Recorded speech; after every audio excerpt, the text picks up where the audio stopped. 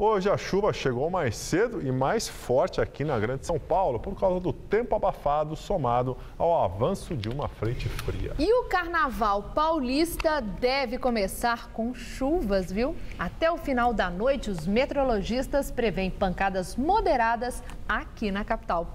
Vamos ver como fica o tempo amanhã. Mariana Armentano traz os detalhes da previsão para todo o Brasil e o estado de São Paulo. Quem está curtindo o carnaval no Nordeste do país só deve mesmo se preocupar com o sol forte, porque se chover será bem rápido só para refrescar a festa.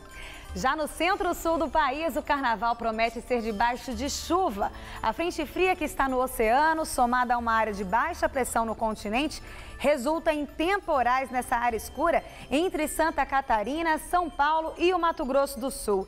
Em toda a região norte, nos estados do Maranhão, Piauí e Ceará, muita nebulosidade e chuvas a qualquer hora. Os foliões de Salvador e de Recife vão pegar um calorão de 31 graus amanhã. E em Belo Horizonte vai fazer 32 e no Rio de Janeiro 36 graus. Aqui em São Paulo a chuva começa ainda pela manhã e a temperatura diminui um pouco nas regiões oeste, centro, sul e no litoral. Nas demais áreas, a chuva vem a partir da tarde e há risco de temporais em todo o estado. Por isso, quem pretende viajar, atenção redobrada nas estradas. Vamos ver as temperaturas em algumas cidades? Aqui na capital, nessa madrugada, mínima de 22 e máxima de 31 graus. Em Campos do Jordão, temperaturas mais agradáveis, com previsão de chuva forte e raios, mínima de 15 e máxima de 26 graus.